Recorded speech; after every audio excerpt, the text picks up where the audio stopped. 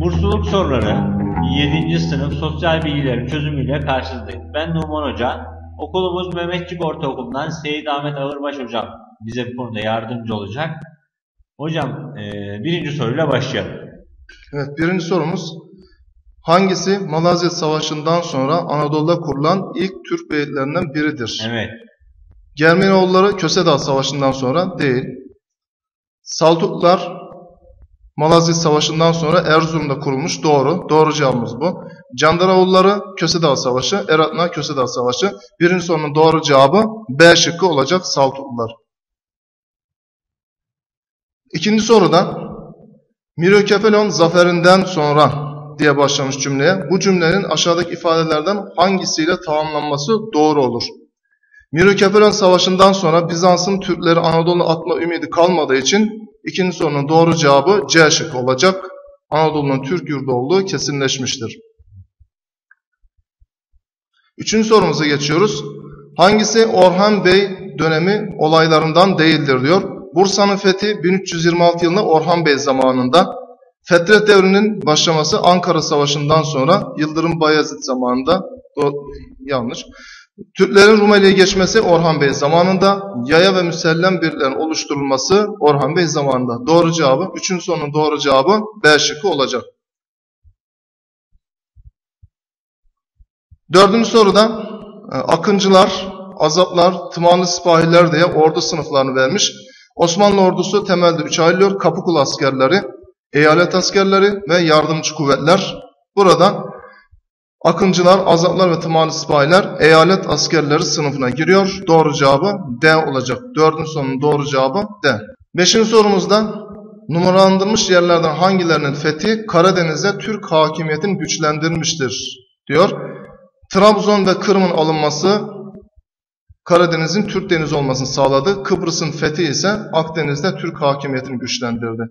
Doğru cevabı 1 ve 2 Beşinci sorumuzun doğru cevabı C şıkkı olacak. Altıncı soruya geçiyoruz.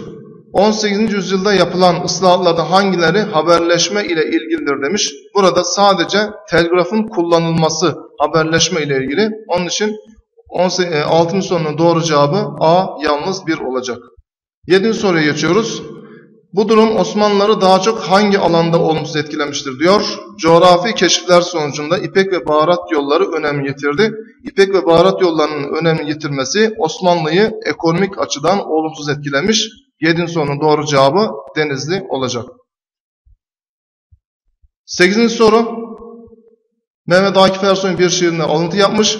Şu Boğaz Harbi nedir? Var mı ki dünyada eşi diye başlıyor. Bu şiir Çanakkale Savaşı'nı anlatmaktadır. Doğru cevabı Bursa olacak. Öğrencilerimizin çok iyi bilmesi gereken bir soru.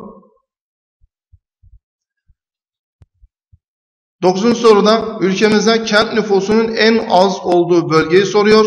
Ülkemizde kent nüfusunun en az olduğu bölge Doğu Anadolu bölgesidir. Dokuzuncu sorunun doğru cevabı D olacak. Onun soruda bir grafik sormuş. Bu bilgiye ait olan grafik hangisidir diye soruyor. 1927 yılında kent nüfus oranı %25, 2016 yılında kent nüfus oranı %80'dir. Bu bilgiyle alakalı olan grafik B şıkkı olacak. Onun sonunun doğru cevabı B olacak. 11. soruda günümüzde basit gelen bazı buluşlar yapıldığı dönemde insan hayatını kolaylaştıran büyük gelişmelerdi diye bir bilgi vermiş. Hangisi buna en iyi bir örnektir? Doğru cevabı A olacak. Tekerleğin icadı bize basit gibi gelebilir ama o dönemde e, ulaşımı ve yük taşıma işlemini kolaylaştırdığı için önemli bir buluştur. Doğru cevabı A olacak. Evet 12. ve 13. soruları haritaya göre yapmamızı istiyor. Türkiye haritasını görüyorsunuz. Bir numara Marmara bölgesinde e, Marmara Denizi çevresini gösteriyor. İki numara İzmir çevresi, üç numara Antalya, dört numara Adana ilimizi gösteriyor. 12. soruda taralı alanlarla ilgili aşağıdakilerden hangisi söylenemez diyor. A şıkkı bu bölgeler iş imkanları fazladır. Doğru. Nüfus yoğunluğu fazladır. Doğru. Sağlık, eğitim hizmetleri gelişmiştir. Doğru. Kömür yatakları bakımından zengindir. Bu yanlış. Bunu söylemiyoruz. 12. sorunun doğru cevabı D olacak. 13. soru. Tara, e, taralı alanların hangisinde kentsel nüfus miktarı en fazladır diyor. Ülkemizde kentsel nüfus miktarı en fazla Marmara bölgesinde. Onun için doğru cevabı A şıkkı 1 olacak. 14. soru. Aşağıdaki yerlerin hangisinde nüfusun seyrek olması beklenir diyor. Ener A maddesi enerji kaynakları bol olan yerlerde nüfus miktarı fazladır. B maddesi ılıman iklim şartlarına sahip olan yerlerde nüfus miktarı fazladır. C maddesi yıl içinde birden fazla ürün alınan yerlerde nüfus miktarı fazladır. D'ye bakıyoruz. Arazisi yüksek ve engebeli olan yerlerde nüfus miktarı çok azdır. Onun için seyrek nüfus olan yerler yüksek ve engebeli olan yerlerdir. Doğru cevap D olacak. 15'te devam edelim. 15. soruda bu parçada numaralanmış cümlelerin hangisinde insan hak ve özgürlükler ile ilgili yanlış bilgi verilmiştir diyor. Birinci maddeye bakıyoruz. İnsan hak ve özgürlükleri kamu sağlığı ve güvenliği söz konusu olduğuna bile sınırlandırılamaz diyor. Ancak savaş, seferberlik, sıkı yönetim hallerinde sınırlandırılabilir. Onun için birinci maddemiz yanlış. İkiye bakıyoruz. Yargı kararı olmadıkça kimsenin özel yaşamı müdahale edilemez diyor. Bu doğru. Üçüncü madde toplum yararının olmadığı durumlarda gizli bilgiler yayınlanamaz. Bu da doğrudur. Yayın organları kişilerin özel yaşama saygı duymakla yükümlüdür. Bu da doğrudur. Yanlış olan sorduğu için doğru cevap A diyoruz. 15'in sonunun doğru cevabı A olacak. 16. soru. Buna göre Ege'nin bir mesleğe yönlendirilmesinde hangisinin etkili olması beklenir diyor. Evet Ege küçük yaşlardan itibaren kendi tasarladığı otomobillerle oynamayı sevdiği için doğru cevabı ilgi ve yetenekleri olacak. Yani doğru cevabı 16. sorunun doğru cevabı B olacak. 17. soru hangisi vatandaşların devlete karşı görevlerinden değildir diye soruyor.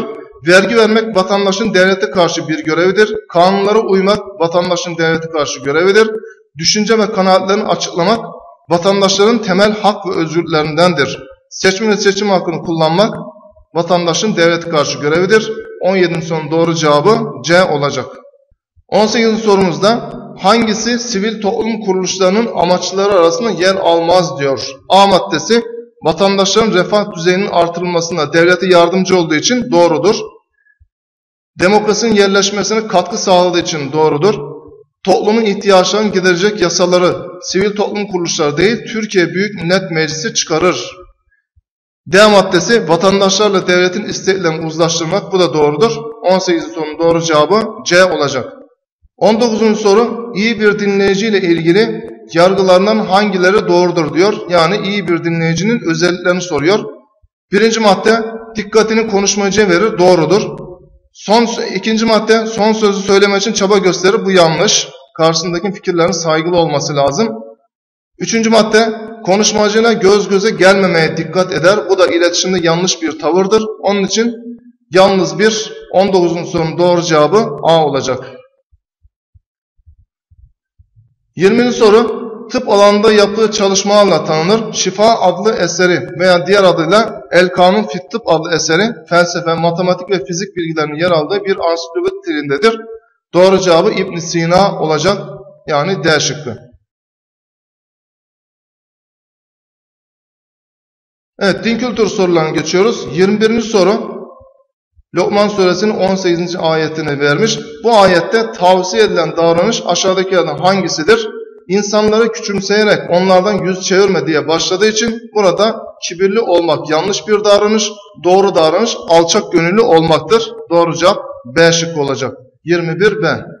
22. soru bu metinde Hz. Peygamber'in dikkat çekilen yönü aşağıdakilerden hangisidir diyor. Paragrafın içinde ey insanlar Allah'ın buyruklarını sizlere ulaştırdım mı diye sormuş. Onlar, orada bulunanlar da evet ulaştırdım ey Allah'ın Resulü şeklinde cevap vermişler. Peygamberler Allah'ın emirlerini insanlara ulaştırır. Bu tebliğ görevidir. Onun için doğru cevabı C olacak. 22 C. 23. soruda oruca başlama ve orucu bitirme zamanını sormuş. Orucun başlangıç zamanı imsak, orucun bitiş zamanı iftardır. Doğru cevabı 1 ve 3 yani 23 A şıkkı olacak.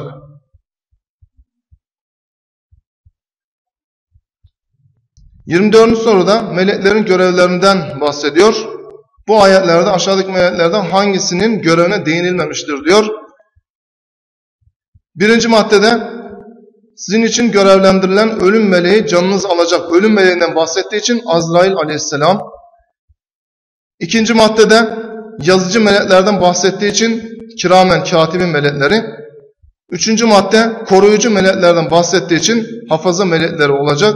Yani hakkında bilgi vermeyen münker ve nekir yani kabir suali soran melekler sorulmadığı için 24D olacak. 25. soru mezhepler ile ilgili yanlış bilgiyi soruyor. A maddesi Kur'an ve sünnetin yorumuna dayanır. Doğrudur. B maddesi Hz. Peygamber döneminde ortaya çıkmıştır. Bu yanlış. Çünkü peygamberimizden sonra ortaya çıkıyor mezhepler. Din değil, dinin yorumlarıdır. Doğru. Müslümanlar için düşünce zenginliğidir. Doğru. 25 B şıkkı olacak.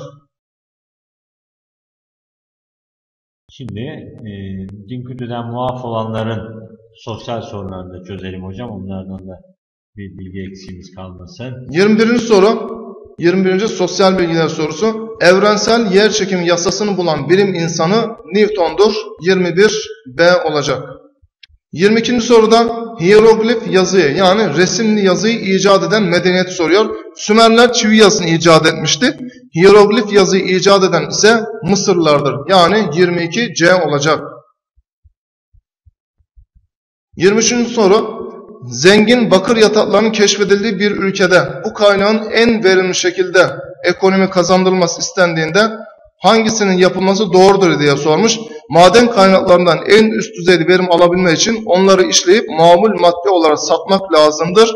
Onun için doğru cevabı A maddesi olacak. Bakırı işleyerek ihraç etmek. 24. soru hangisi bu sorunlardan biri değildir diye soruyor. Ön bilgide atmosfere salınan gazların sera etkisi yapması sonucunda oluşan küresel ısınmanın önüne geçilmezse birçok sorun ortaya çıkar diyor. Hangisi bu sorunlardan değildir? A maddesine bakıyoruz. Deniz kıyısına yakın yerleşmeler su altın alır. Çünkü küresel ısınma neticesinde buzullar eriyecek, denizlerin su seviyesi artacaktır. B maddesi hayvan ve bitki türlerinin büyük bir bölümü yok olur veya yok olma tehlikesiyle karşı karşıya olur. Bu da doğrudur.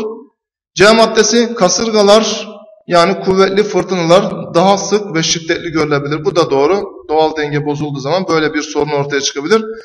D maddesi alüvyal araziler daha geniş sahalara yayılabilir. Alüvyal araziler akarsuların denize döküldüğü yerlerdeki ovalardır.